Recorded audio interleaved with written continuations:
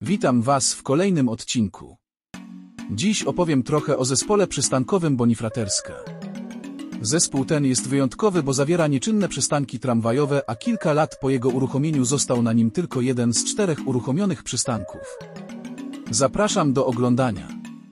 Zespół uruchomiono 20 maja 2005 roku poprzez zmianę oznaczenia przystanków Dworzec Gdański 05, 12 i 13.